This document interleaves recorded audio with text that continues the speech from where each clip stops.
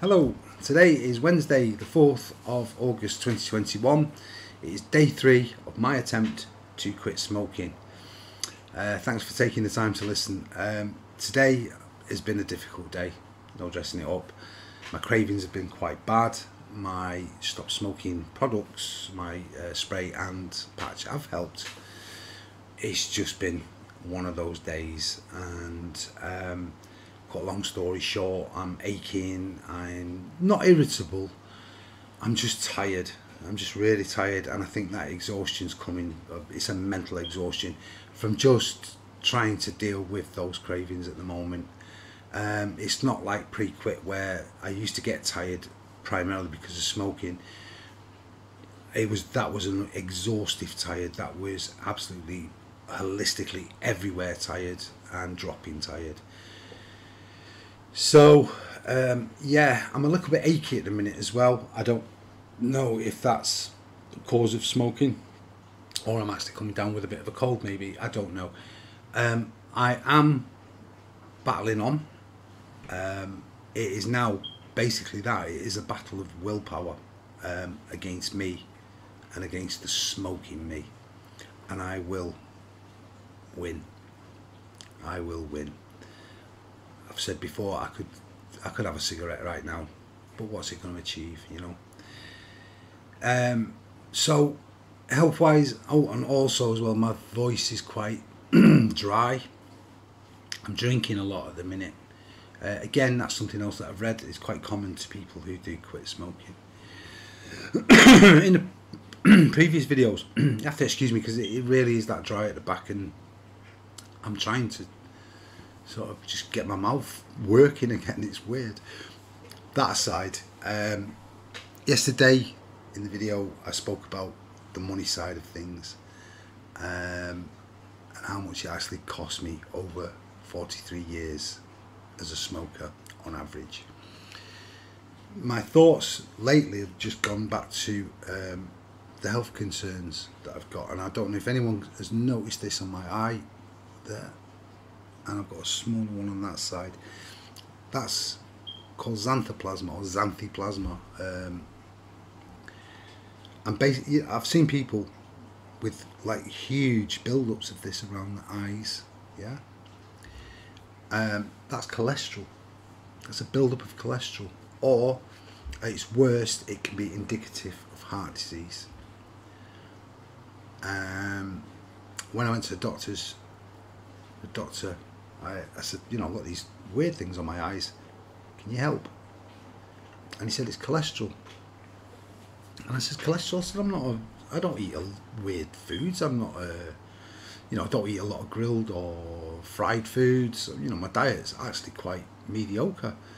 He said, there's nothing to do, nothing to do whatsoever with your diet.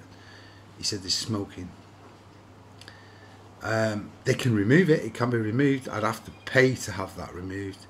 The NHS can do it, but they won't, and simply because it is too near my eye. Yeah, they won't risk it. Um, but what I have read and touch wood, hopefully it can leach away with stopping smoking. It can actually recede, which will be, you know, great. I'm not vain about it. It's very, very noticeable. Um, so, yeah, it is about health, and you know when you think, and I've done a little bit of research on this, and it's staggering the amount of things that actually go inside just excuse me a minute, 60. Just need to bring that up. It's staggering the amount of toxins, poisons, chemicals that are in cigarettes. There's thousands of them. Okay, and I was actually quite staggered to to um, find out really what stuff is in there. Right. So one of the one of the primary ones is hydrogen cyanide. Right. Hydrogen cyanide in cigarettes, right? it is a military grade weapon, right, for mass destruction, okay? They used it in the First World War and they used it in the Second World War. The First World War, we're all familiar with mustard gas. Cyanide gas kills instantly. Mustard gas would kill you over a period of time. Cyanide gas, devastating, right? Kills people within seconds, okay? and it's in cigarettes.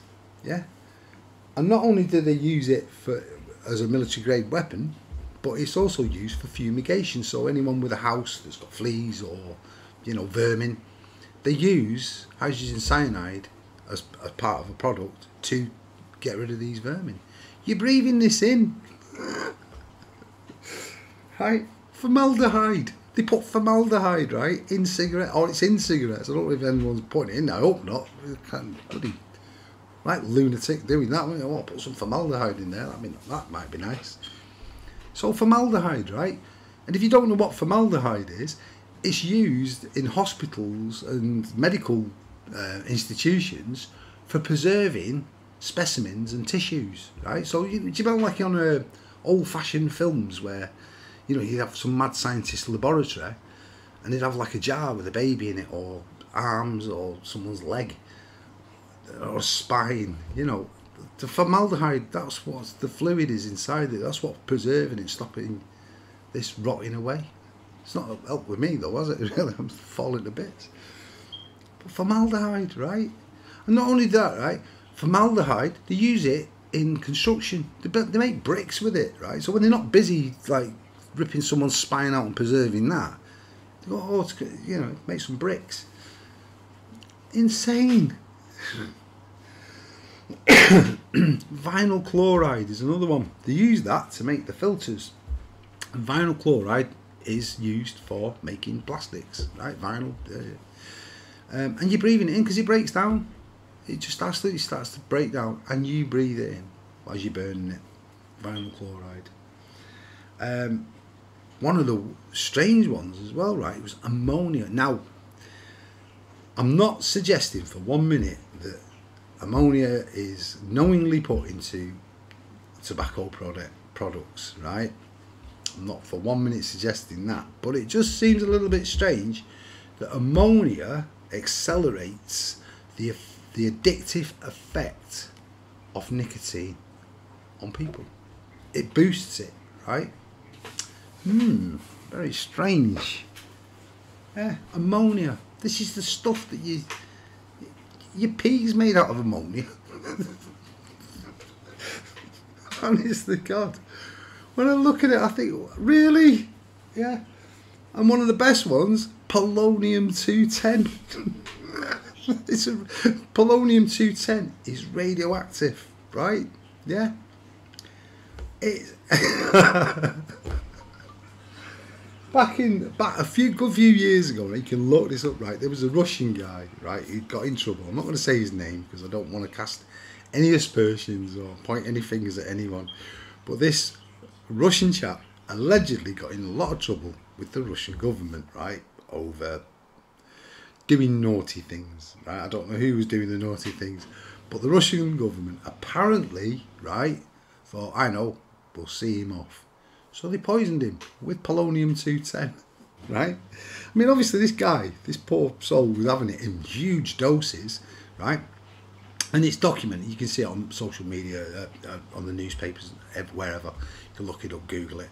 Um, yeah, so, and it had a, a, huge, I mean, he was having it in massive doses. It had a massive effect on him. Obviously, you know, he lost his hair, weight, blah, blah, blah. It killed him. And we're smoking that polonium it's rotting away your organs, just absolutely rotting away. Why are we doing this? You know, no. You, in, if someone walked up to you, right, with a vial with a skull and crossbones on it and polonium two ten, do not use or you know warning. I went, yeah, mate, drink that. You wouldn't. No one. you wouldn't do it. I'd smoke it, but I'm not going to drink it. Really? You know, my circulation is pants. Really, I am. I have aged myself happily. Just done it. You know. Be warned, because on the packets of cigarettes there are these now pictures, and they are very real. They are very real. They're not a joke.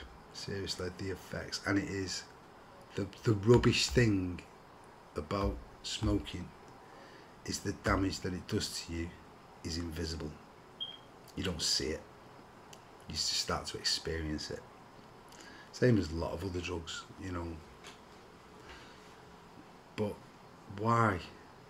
And please, honest to God, if you are of an age, young age, and you've just started smoking, please stop. Just do yourself a favour. It is not worth it. You know, you're paying money. You know, I, I said it yesterday about the £69,000 on average that I've spent in 43 years to make myself look like this. 69 grand on aging myself. People go to plastic surgeons and, and pay similar amounts of money to make them look younger. Oh no, not me. I'll pay 69 grand just to age myself. really? And the formaldehyde's not working. Really? It's just bizarre. Anyway, on this good note, on this smiley note anyway, it's, it's actually boosted me up. It's boosted my day up now because now I know that I can get through the rest of the day cravings aside, and battle on because I'm doing it for the right reasons. I'll follow up with some more videos as the days goes on. I might not do videos every day because there's going to be days where there's just nothing to report. You know, and obviously if I'm doing some research, because I'm, I'm actually getting quite interested in this, but if I do some research and I find anything interesting that will help maybe just boost you along that road to stopping this dreadful, dreadful habit, I hope so. I really do hope it works. Um, in the meantime, I have um, kept the comments closed. But if you do want to leave a comment, do it. I'll review them, right? Because as I said in the past video, the last thing I need, I'm on this big journey. I'm trying to make myself feel better and stuff like that. I don't want haters. I really don't need you. You know, um, and there are some horrible people out there.